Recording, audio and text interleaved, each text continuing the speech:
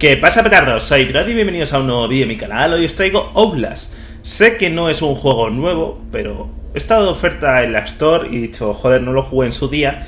Sé que lo dieron gratis en su día con la Play, pero en ese momento creo que aún no tenía la PS4 y por lo tanto no tengo este juego gratuito. Y siguiendo la temática de miedo, ya que ayer os traje el Silent Hill, la demo, la EPT, pues he decidido cogérmelo porque está de oferta, creo que costaba 6 pavos el juego Así que he dicho. Tiene muy buenas críticas, así que. ¿Qué cojones? Voy a probarlo. Además, tenía un suscriptor bastante interesado en que siguiera trayendo vídeos de, de miedo. Un saludo a Kira.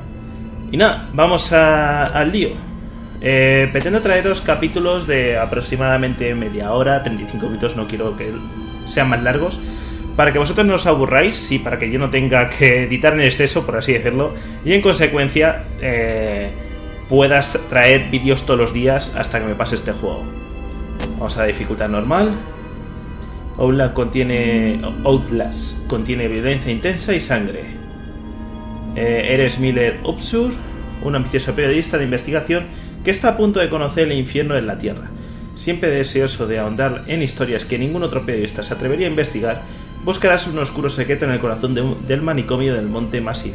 Sobrevive tanto tiempo como puedas y regístralo todo no eres un luchador, así que para moverte por los horrores del Monte Massive y revelar la verdad, tus únicas opciones serán correr, ocultarte o morir. Bueno. Eh, he estado probando fuera de cámara por el tema de que se viera que grababa bien. Eh, no he grabado nada. Como veis pesa 10 megas. Eh, lo que... Así que vamos a, vamos a darle nuevo. Y ya está.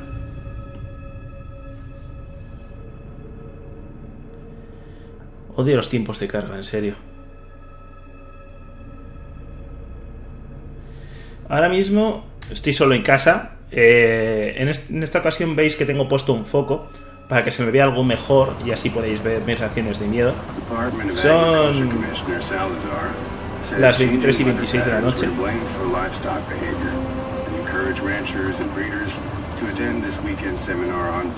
Y os dejo escuchar la radio.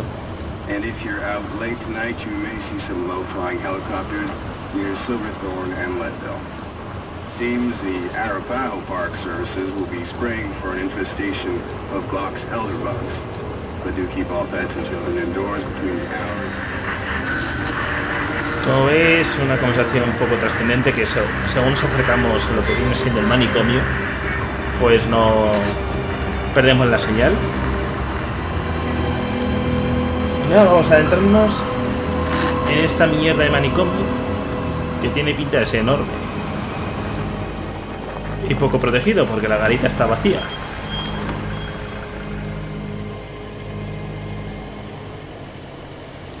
Vale, ya muevo la cabeza. Y aquí quedaos, con la idea de la cámara, las pilas y este documento confidencial. Sé que no me conoce, pero debo, debo hacer esto rápido. Podéis estar vigilándome. Trabajé durante dos semanas en las instalaciones de, de sistemas psiquiátricos Murkov, en el Monte Massif como consultor de software. Me temo que estoy quebrantando un montón de acuerdos de confidencialidad, pero que les jodan.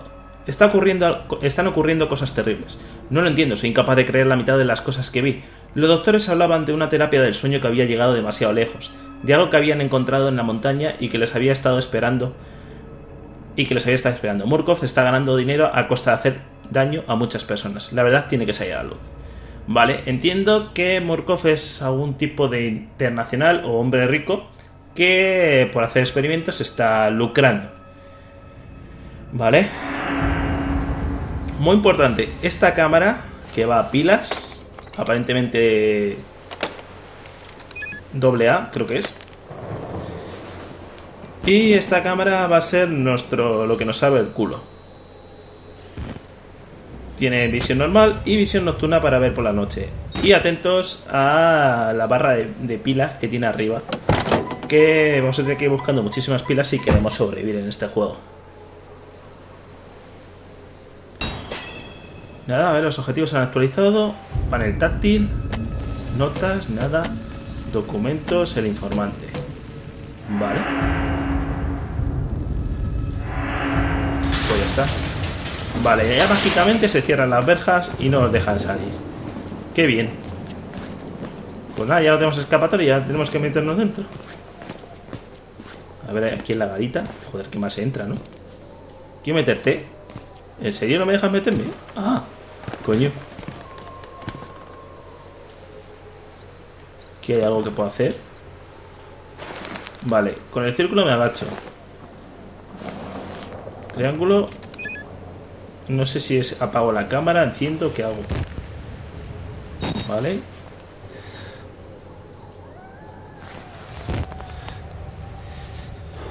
Ah. No. Ah, con la cruceta hago zoom. Vale. Mira. Clasificado. ¿Y qué hago yo con esto? Vale, dejo de grabar. Y no puedo coger el documento este clasificado. O llevarme a la brujita. Al gato. El gato volador. No, no puedo hacer nada. Ok. Pues nada, supongo que nos tendremos que meter para adentro. Vale, para abrir rápido una puerta pulsa cuadrado. Para abrir despacio puertas, mantén pulsa cuadrado y muévete hacia allá. Venga, despacito.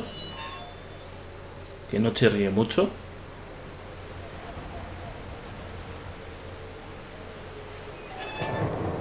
Pulsa R1 para usar la videocámara. Vale, evento registrado. Contemplar este lugar hace que me sienta enfermo. El manicomio del Monte Massif cerró sus puertas en 1931 entre escándalos y secretismo gubernamental y sistemas psiquiátricos. Murkov volvió a abrirlas en 2009, disfrazándolo de organización benéfica. Los móviles pierden la cobertura de repente a un kilómetro y medio del hospital, pero más que pérdida de señal parece cosa de inhibidores. La corporación Murkov tiene un largo historial de rentabilidad disfrazada de caridad, pero nunca en suelo estadounidense. No sé qué piensan obtener en este lugar, pero tiene que ser algo importante. Puede que esta historia sea la, que por fin acabe con esos cabrones. ¿Vale?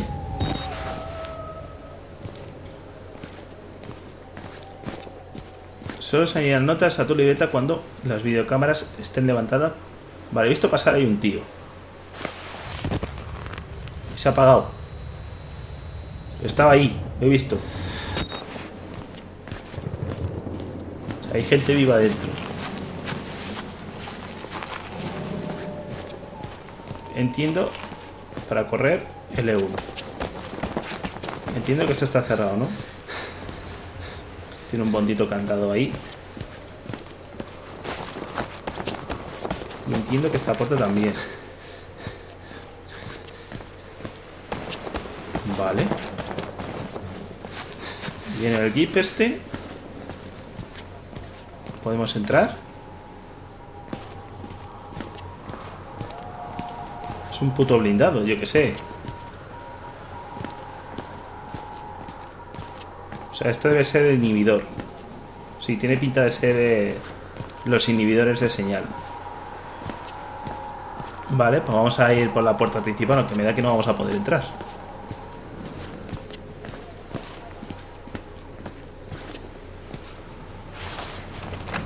Vale, no se abre. Vamos por el, otro lado. Que estaba la... La ventanita encendida, que estaba ahí arriba. Lo que no sé es cómo coño voy a subir. Mira, círculo para agacharte o incorporarte. Joder, ¿cómo habrán levantado esto de aquí? Guardando.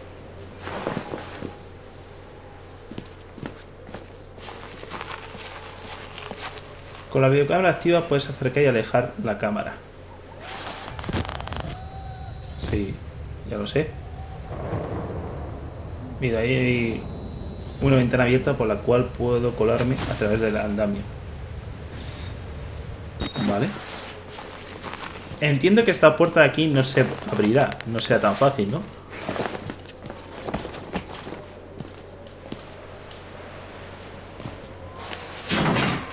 Cerradita. Vale. Supongo que el miedo empezará cuando me meta dentro del manicomio. Porque aquí no hay nada más, ¿no?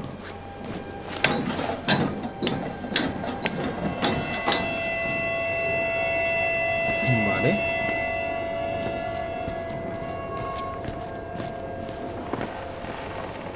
Para soltar un agujero pulsa X mientras te hacia adelante. Ok.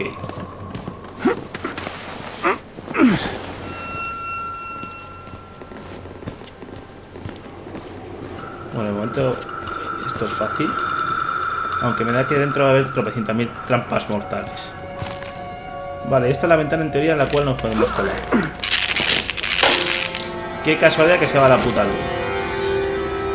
¿Y cómo, cómo pongo yo esto? ¿Ah? ¿Cómo era? Para poner la visión nocturna. Ah, vale. Ahora me lo dicen, ¿no? Con el puto R3.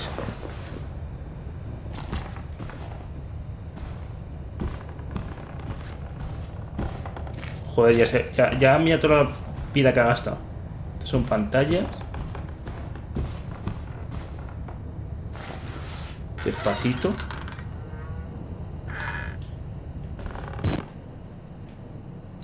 Vale, aquí hay algo.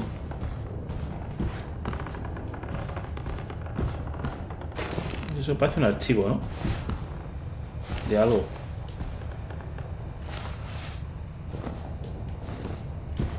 Vale, ¿y aquí adentro hay algo? Una puta chimenea, ya está. Entiendo que la visión nocturna gasta mucha pila.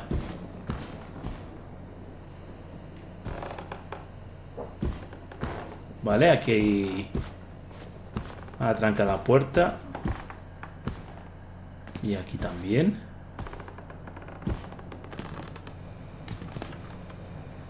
¿Cómo no? Tenía que haber un cura.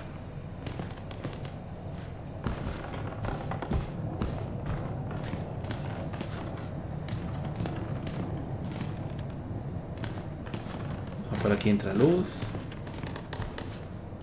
Esto es como una biblioteca. ¿Cojones? Madre mía. Microsusto que me ha dado por los putos cascos.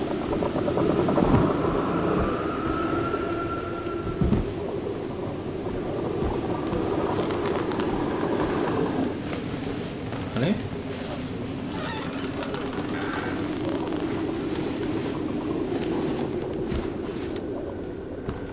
Ya que estamos aquí, ahora qué hacemos aquí. Para colarte, muévete hacia el agujero. Vale, por el huequecito. Vale, aquí ya vemos que ha habido restos de sangre.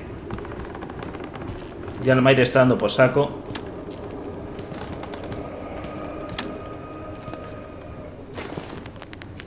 Vale, tenemos aquí un puto ordenador. Sí, tienen ordenadores y tienen cosas. Uh. Hostia. Pila.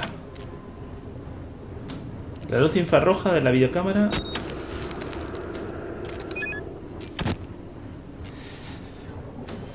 Eso parece confidencial, ¿eh? Esto yo, yo lo tomaría como confidencial. Sí, ¿no vas a dejar coger el puto... ¿Notas? No, documentos. Esto es un puto documento, ¿no?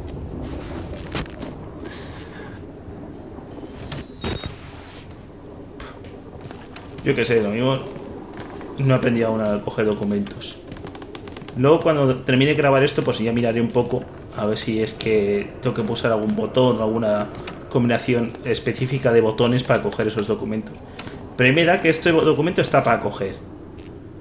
Pero no tengo ni puta idea cómo cogerlo.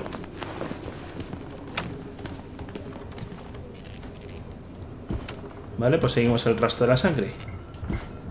Y el extintor no lo puedo coger tampoco. Vamos a abrir despacito.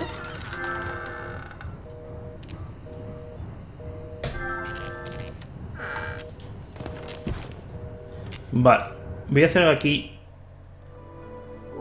Como están dando por saco estos tíos, lo que voy a hacer es coger ajustes desactivar las notificaciones. Perdonad, chicos.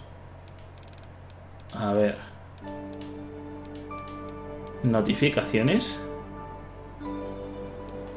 Ninguna. Y ya está. Perdonad por el corte. Pero es que están dando por saco las notificaciones. Se cree que es divertido. Venga, estos sí son documentos. A ver. Sistemas psiquiátricos Murkov, proyecto Wall Rider. Monte Massif, Colorado. Número de expediente 174. Iniciales del paciente VPH, Billy. Fecha de consulta 14 de 2012. Fecha de consulta inicial 12 de 4 de 2009. Edad 19 años, masculino. Médico de seguimiento, Dr. Carl Houston. Dictado pero no leído. Estado de la terapia. El paciente afirma haber progresado a estados de sueño de lúcido autodirigido. Se observa una actividad del motor morfogénico sin precedentes. Continúa la fase 4 del programa hormonal. Diagnóstico. La espirometría no revela acumulación bronquial. ¿Qué cojones es esto? La centrifugadora para hematocritos tampoco pudo separar los eritrocitos. Muy preocupante. La resonancia magnética reveló un ciclo REM, NREM arrítmico. Risa en estado NREM. Nota hace la entrevista. Billy preguntó por el estado de la demanda de su madre contra Murkov y el manicomio. Esto supuso un fallo de seguridad catastrófico. A pesar de que Billy afirma haber descubierto la verdad, en los sueños de sangre de la, rata de Trager, nota el único Trager que aparece en los registros de la compañía, Richard Trager, es Richard Trager, un ejecutivo de investigación y desarrollo. Todos los enfermeros y el personal de seguridad deben ser interrogados y habrá que mejorar la cobertura de las cámaras de vigilancia para incluir biometría analítica. Sistema psiquiátrico Murkov, proyecto Wall Rider, Monte Massif, Colorado. Vale. Entiendo que aquí está el teléfono descolgado. Y no puedo hacer nada con él. Pues nada, seguimos las pisadas de sangre. Uh, que se cierra el baño solo. No me mola un pelo, eh. Y esto no sabría, ¿verdad? Hay alguien ahí adentro. Vale, si hay gotera de sangre es que hay un montón de cuerpos ahí arriba. ¿Qué coño es eso? Esto no puedo abrirlo, ¿no? La puta nevera. Esto no puedo abrir tampoco. Y aquí... Para pulsar X. Vale, por aquí no vamos a ningún lado. Y andamos por aquí. ¿Cojones? ¿Cuál Raider?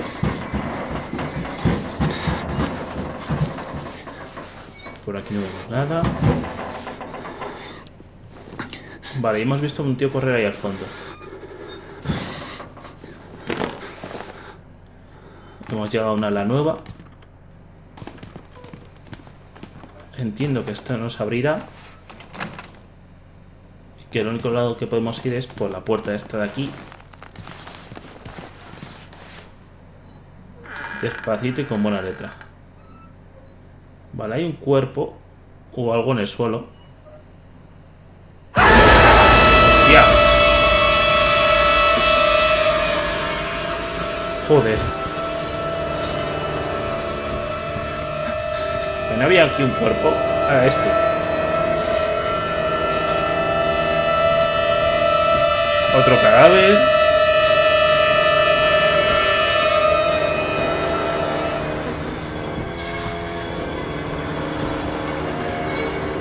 Madre mía.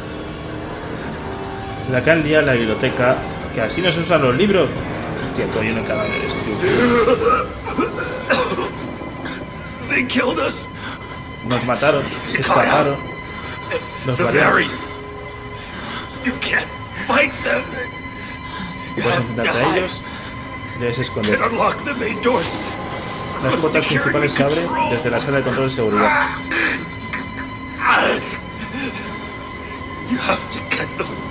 Tienes que salir de este puto infierno.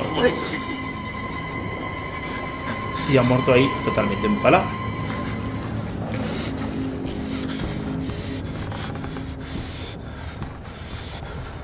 Vale. Tras esto, pues nuestro personaje normal, que vaya con respiración entrecortada, pues dice, ¿qué cojones? ¿Dónde coño me he metido? Aquí hay documentos tachados en el suelo.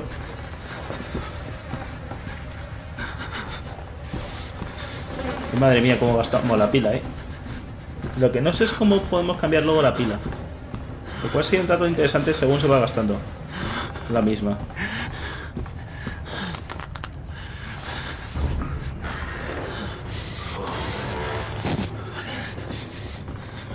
Vale. Entiendo que ahora en notas hemos conseguido estoy dentro. Ah, estoy dentro. Hay cadáveres por todas partes, sangre, marcas de quemaduras. Las cabezas alinean como botellas tras la barra de un bar. Los cuerpos de los científicos de Murkov cuelgan del techo. En sus tarjetas de identificación pone Sistema de Investigación Avanzada Murkov. El modus operandi de Murkov siempre ha sido obtener beneficios a través de la explotación de supuestas obras benéficas.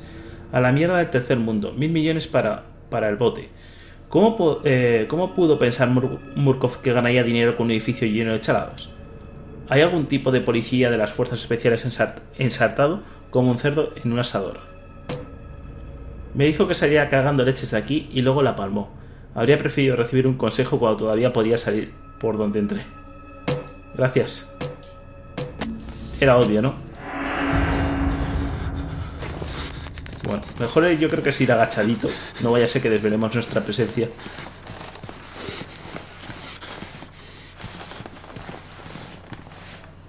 Vale, por ahí está oscuro.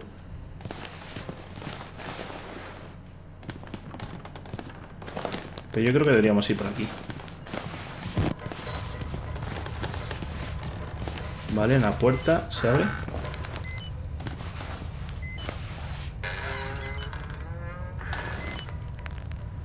Vale. Pilita. Batería recogida.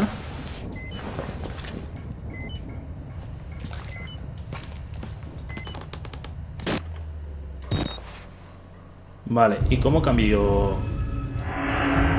la pila de la cámara? Supongo que me lo indicará nada después.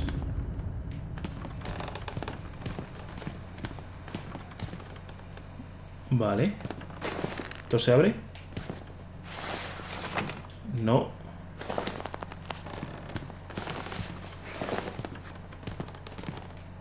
Por ahí no se puede ir. Esto está tapiado. Roto. Pues vamos por el único hueco que podemos ir, que es este. ¿Qué ¿Qué cojones es eso? Que me tira por la ventana. Puto engendro, tío.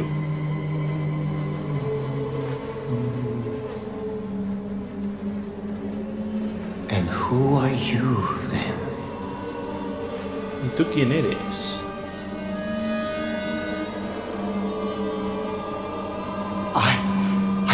Ah, entiendo. Dios te ha, eh, has apeado de mí y me has enviado un apóstol. Protégete, hijo mío. Tienes una misión. O sea, este es uno de los locos.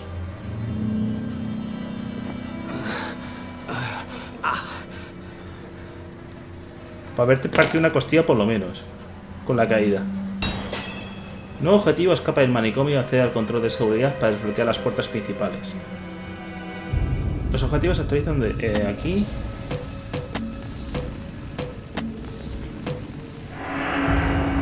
Sí, sí, a la derecha. Bueno, da igual. No puedo utilizar ningún cristal de estos como arma ni nada. Y a este le han sacado las tripas. El guarda está muerto. Otro guarda muerto.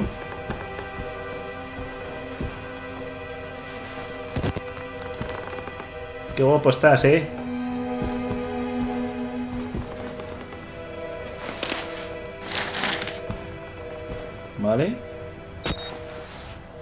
A ver, documento. Corporación Murkov, Oficina de Estados Unidos, Orden de Expropiación, número expediente, patatín patatán. En el asunto de expropiación del Centro Psiquiátrico del Monte Massif, Sistema Psiquiátrico Murkov, Parque Natural del Monte Massif, Carretera Comarcal 112. Seguridad Severa Murkov SSM ha presentado una declaración escrita ante la Junta Directiva, pues tiene motivos para creer que puede producirse un fallo de seguridad catastrófico en el centro psiquiátrico, con peligro inminente de contaminación del entorno. Consideramos que la declaración y el testimonio ofrecen pruebas suficientes para exigir acciones urgentes por parte de SSM y que fundamentan la emisión de esta orden. Eh, por, la presente se le exige que otorgue a SSM pleno acceso a todas las instalaciones y que transfiera toda la autoridad a sus agentes. Aceptar este documento, usted o cualquier familiar vivo desiste de cualquier litigio contra la Corporación Murkov o sus filiales por las acciones de SSM y por las circunstancias que exigieron su, actuación sin importar la, responsabilidad. Se están vamos, salvaguardando las espaldas. ¿Vale? Eso está cerrado. También está cerrado. Todos los ordenadores. Joder, le falta la cabeza, tío. Mira este. Y esto no se abre, ¿no? Está en la puerta principal. y no se abre.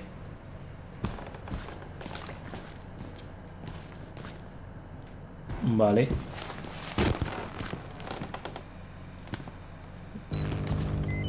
Por aquí hay algo.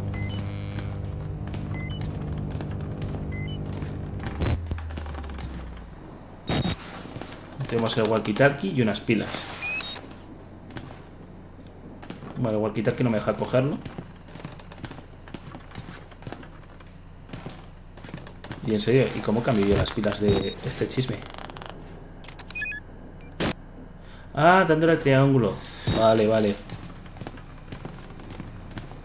Joder, pues me podría esperar un poquito más para botar un poquito más la batería.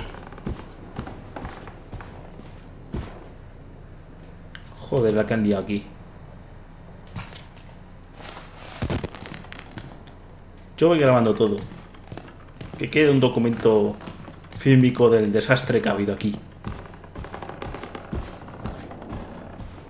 De la que han liado, pardísimo.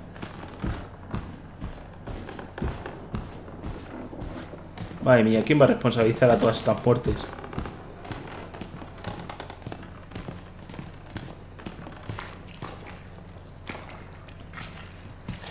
Puto charco de sangre.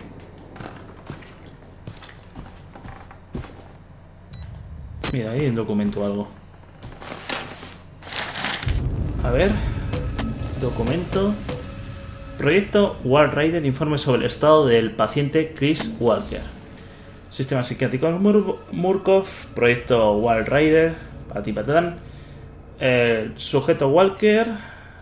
Fecha de consulta 28 de 5 de 2013. Consulta inicial 28 de 9 de 2011.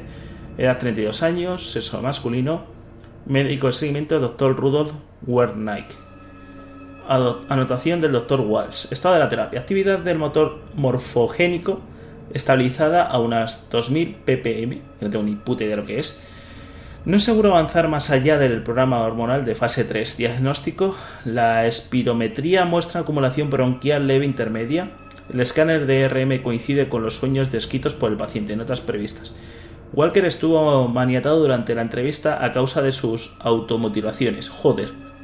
Las restricciones eh, se han tenido que modificar para adaptarlas a su enorme tamaño.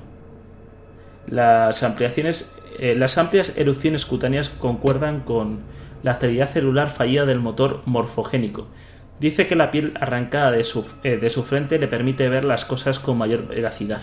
Parece haber tenido alguna experiencia infantil con lagartos tuátras y sus ojos parientales. Ha mostrado ansiedad con respecto a su carne, específicamente alrededor de los labios y la nariz. Los enfermeros tienen instrucciones de observarlo para evitar que siga automutilándose. los traumas mentales que sufrió mientras estuvo destinado en Afganistán parecen estar retrasando el avance de la EM. Su fijación predominante amplificada por la terapia parece ser una exageración maniática del protocolo de seguridad militar se recomienda encarecidamente continuar con restricciones físicas y químicas. Entiendo que este es el tío que nos ha tirado. Por el balconcito. Aquí otro ordenador. Todos los sistemas operativos han caído, por lo que parece ser. Vale, ahí un tío con silla ruedas. Esto no se puede abrir, ¿verdad?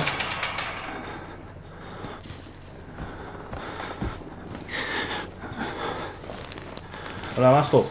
¿Qué tal? ¿Está vivo? Se mueve. ¿Por qué te mueves? Hola. ¡Ey! Hola.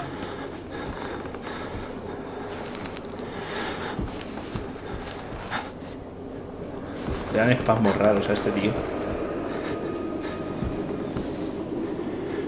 Mira, están viendo la tele. Oh, qué bonita programación, ¿eh? A ver, notas. Hombres rotos y un canal de estática. Hay un grupo de hombres rotos mirando un canal estática, parecen pacientes. Sobrevivieron a, la que fuera, a, la, a lo que fuera que ocurrió en este lugar, pero no hay nadie en casa. Están aquí. Abajo. Hostia, este es el que se automutilaba. Se arrancaba la piel.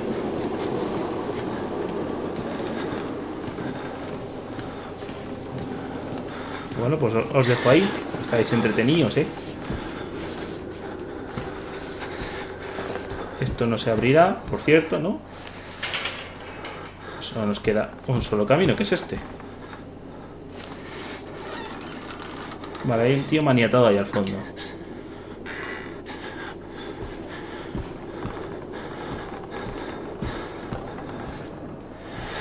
Vale, aquí no hay nada. Aparentemente. Y una nota. Pulsa cuadrado para recoger la llave electrónica al control de seguridad. Bueno. Pues mira, como llevamos ahora mismo 32 minutos, voy a cortar aquí el vídeo, más que nada para que no se haga excesivamente largo. Espero que os haya gustado el vídeo, si es así, dale me gusta, suscríbete, comenta y esas cosas que es gratis siempre se agradece. Y nos vemos en el próximo vídeo. ¡Hasta luego!